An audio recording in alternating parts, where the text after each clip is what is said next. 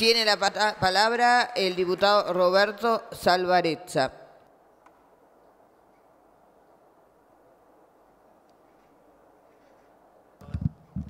Muchas gracias, señora presidenta.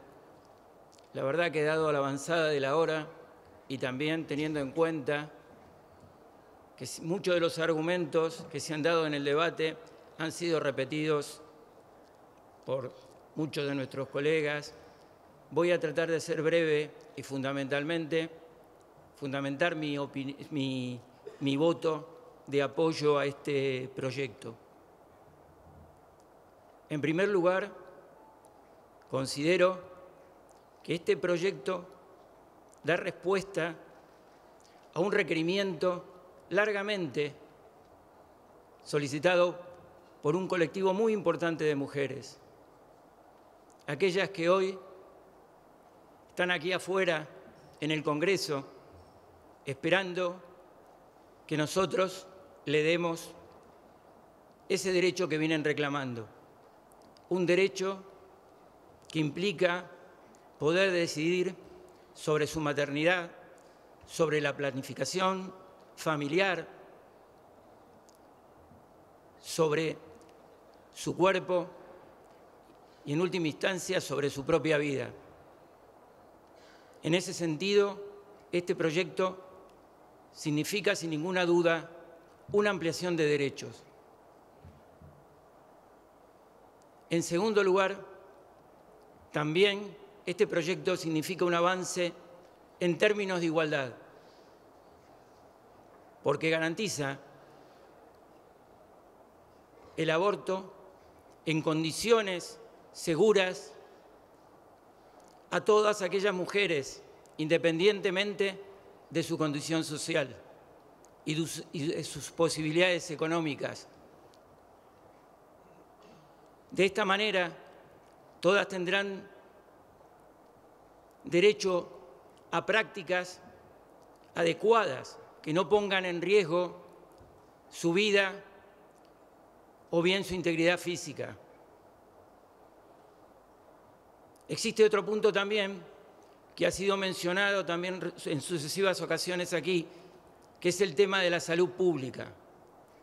No podemos ignorar los 300.000 abortos, que es una base, un piso. No sabemos muy bien cuántos son. Se estiman 80.000 internaciones hospitalarias derivadas de abortos y 50 muertes por año. Pero la verdad no son cifras que podamos conseguir con facilidad, son estimaciones. Y son estimaciones porque el aborto es clandestino, porque es ilegal y porque no vamos a tener datos fiables si seguimos teniendo el aborto en esas condiciones. ¿Cómo podremos evaluar, señores diputados, señora presidenta, la capacidad o la eficiencia de la educación sexual o de los métodos anticonceptivos si no podemos tener datos sobre el aborto fidedignos. No los conocemos y no los vamos a conocer mientras que el aborto sea clandestino. Por lo tanto, desde el punto de vista de la salud pública, la disminución de las internaciones hospitalarias, la disminución del número de muertes provocadas por abortos, por métodos inadecuados y también la posibilidad de tener datos fidedignos constituyen un aporte fundamental a la salud pública. Por lo tanto, en términos de derechos, en términos de igualdad y en términos de salud pública, puedo fundamentar mi voto apoyando este proyecto. Pero quisiera hacer una reflexión final también sobre lo, que ha ocurrido en este, en este debate, donde hemos escuchado en reiteradas ocasiones la palabra homicidio en el vientre de la madre, infanticidio, muerte de niños indefensos. La verdad, señora Presidenta, que tal como se decía, en base a lo que es la biología molecular y la genética, no tenemos dudas que un embrión constituye un ser vivo. Pero eso no implica que el embrión sea un ser humano. Y está claramente demostrado que no lo es. En ningún lugar del mundo donde el aborto es punible, se considera el aborto con penas que sean comparables con la del homicidio. Y aquellos que sostienen esta, postura de que el aborto es un, eh, un homicidio, deberían estar preocupados por el cambio del Código Penal. Solamente disparan esta inquietud o lo califican de esta manera cuando escuchan o lo asocian con la palabra aborto.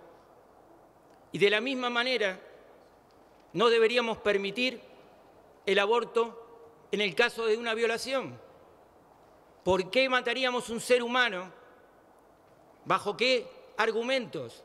¿Por qué sería un ser humano inferior? Y sin embargo, aprobamos, nuestra legislación lo aprueba.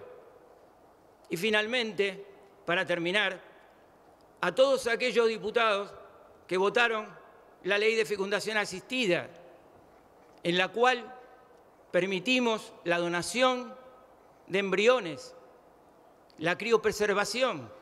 Si estos son seres humanos, de la misma manera estaríamos violando estas condiciones. Por lo tanto, y por los tres primeros argumentos que he mencionado, que esta ley nos provee ampliación de derechos, igualdad y un beneficio en lo que es la salud pública, fundamento mi voto afirmativo y apoyo a este proyecto. Muchas gracias. Gracias, señor diputado.